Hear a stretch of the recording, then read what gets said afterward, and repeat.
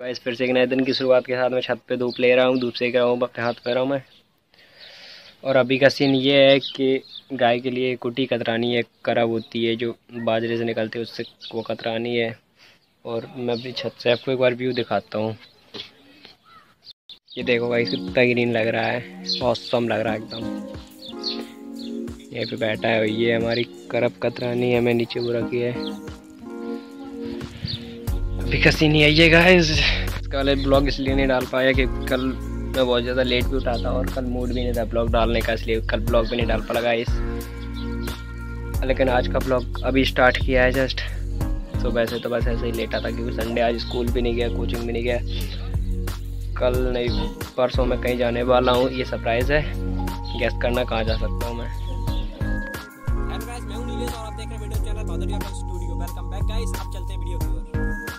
दोपहर के डेढ़ बज चुके हैं और मैं टाइम से फ़ोन नहीं उठा पाया क्योंकि मैं मतलब एक वीडियो बना रहा हूँ कॉमेडी वीडियो बना रहा हूँ। आपको अच्छा लगेगा ऐसे देखकर। और गाइज़ हमने घर पे ही अपने कैमरा स्टैंड बना लिए हैं और इस कैमरा स्टैंड को देखो पहले तो आप। देखिए, हमारा प्यारा सा कैमरा स्टैंड है, क्योंकि हम मिडिल क्लास है। नया तो खरीद नहीं पाएँगे इतनी जल्दी। और एक और कैमरा स्टैंड बनाया है वहाँ पे रखा है।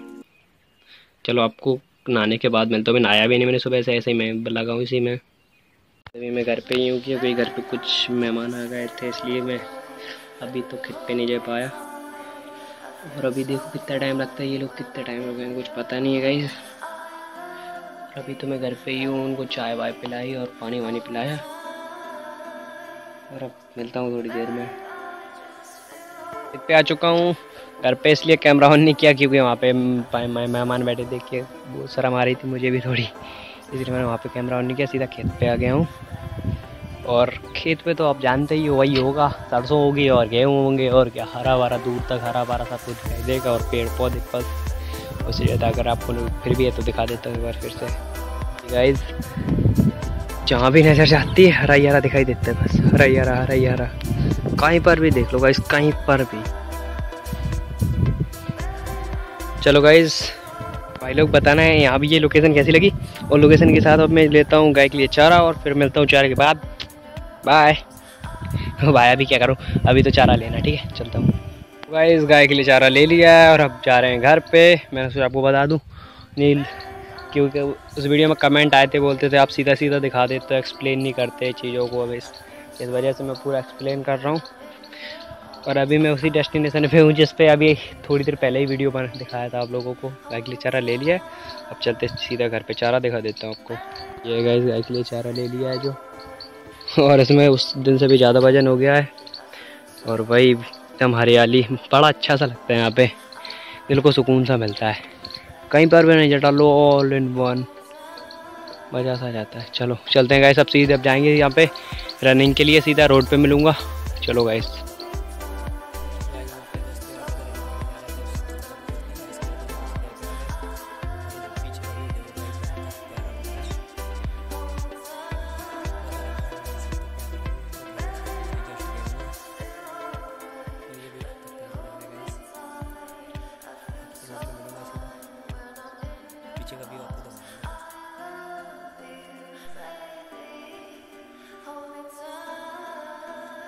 प्यारा लग रहा है ये।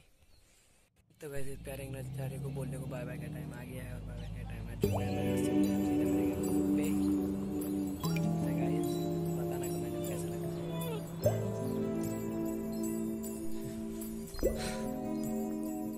हेलो गाइस रनिंग के लिए आया था लगभग कुछ ज़्यादा लगा ली।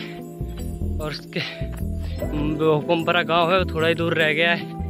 और अभी मैं रुक गया, इसलिए सांस चढ़ गई थी, इसलिए और आपको लौट के मिलता हूँ। वैसे हमारी पूरी हो चुकी है चार किलोमीटर और हमारा सांस फूलने लग गई थी और पैर में दर्द हो रहा था, इसलिए हमने अब बंद कर दिए। अब पैदल जा रहा हूँ और मिलता हूँ आपको थोड़ी देर से। मैं आ चुका हूँ, खाना खा लूँ।